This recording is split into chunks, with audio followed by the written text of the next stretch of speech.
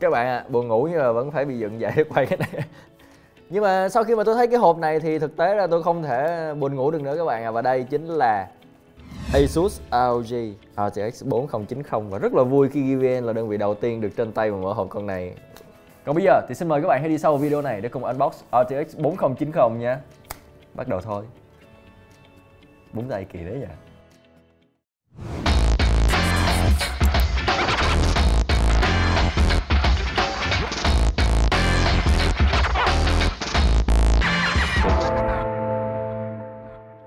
đây các bạn ạ. À. đây unbox nặng lắm. Mình biết là anh em cũng đã xem qua tương đối là nhiều những cái leak về 4090 rồi. Nhưng mà rõ ràng là có một cái phiên bản ngay ở trên tay chúng ta đây một phiên bản custom à, đến từ à, một bên nhà sản xuất. Bên thứ ba không phải là Nvidia chính thức á, thì à, tới bây giờ thì có lẽ anh em mới thấy. Mình cũng vậy thôi các bạn ạ. Rất là nặng. Năm ngoái thì mình cũng được ở trên tay con à, 3080 và 3090 luôn rồi à, cái phiên bản à, Founder Edition thì mình cũng chưa được cầm nhưng mà thiệt ra là cũng cầm luôn cả những cái con custom mới ra của những cái hãng bên thứ ba. Vãi cả lèo các bạn to kinh khủng luôn á. Trời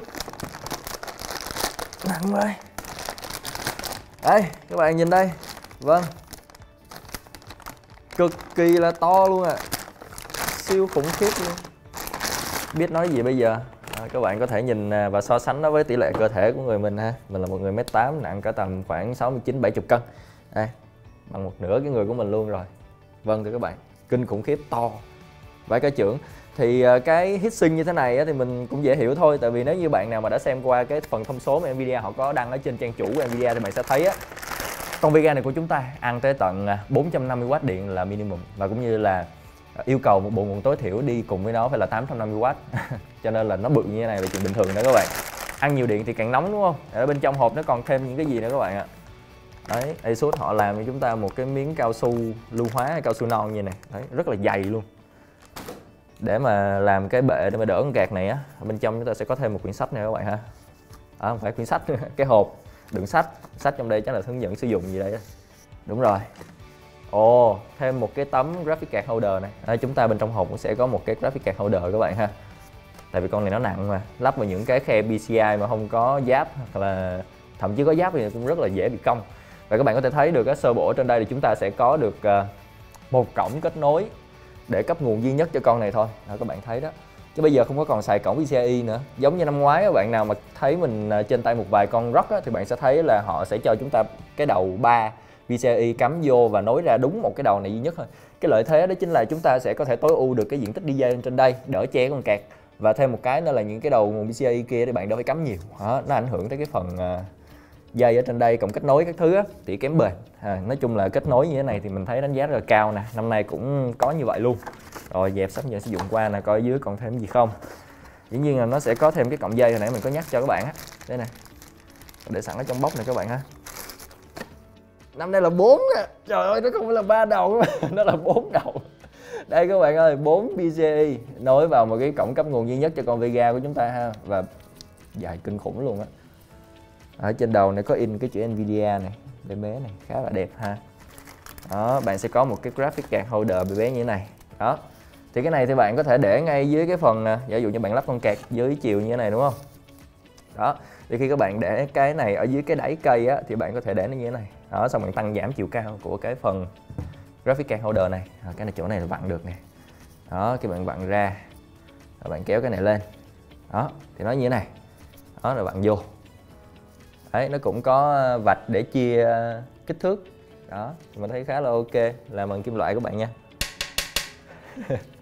Cứng cáp đẹp CNC các thứ. Màu sắc cũng rất là tiệp màu với lại con Vega của chúng ta rất là đẹp.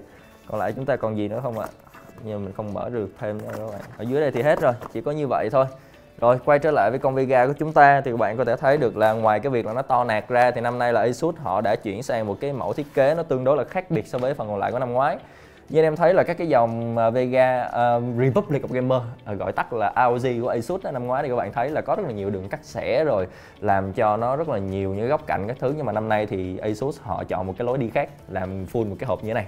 Đấy mình thấy kiểu thiết kế này kiểu thiết kế tối giản thì cũng phù hợp với mình thôi. Một người yêu sự tối giản và ghét sự uh, tinh tế. Đùa thôi yêu sự tối giản và ghét sự màu mè thì thiệt ra thì nếu như bạn nào mà lắp con này vào trong máy á, và không có cần một RGB cái thứ thì bạn sẽ thấy con này rất là tối giản cũng rất là đẹp. Đây, để như thế này này ngon ha? Đấy thì uh, plate đằng sau thì cũng vẫn là plate bằng kim loại thôi.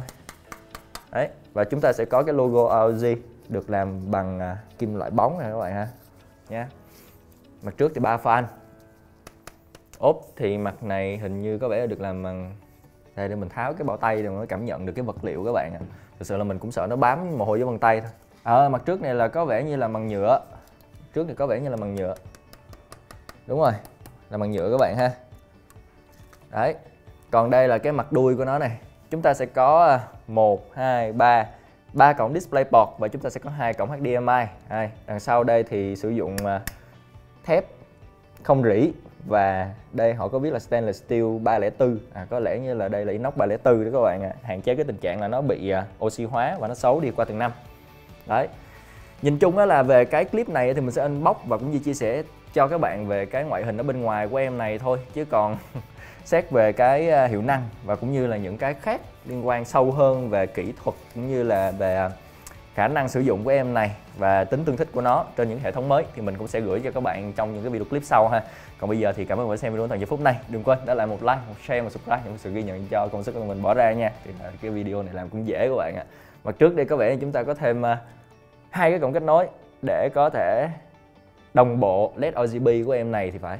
Đây, các bạn có thể thấy này hai cái cổng cái bé này ha.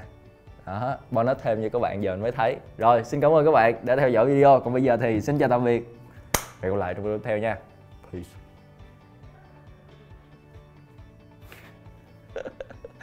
Nặng lắm các bạn con này nặng lắm, này to kinh khủng luôn á. Biết có con Vega nào, bé bé xinh xinh ở đây cho các bạn có thể thấy không? À đây, là một cái chai cồn 70 độ. Và đây là nó. Những con này tập tạ được luôn á, mấy bồ. Cục này chắc khoảng tầm 3 kg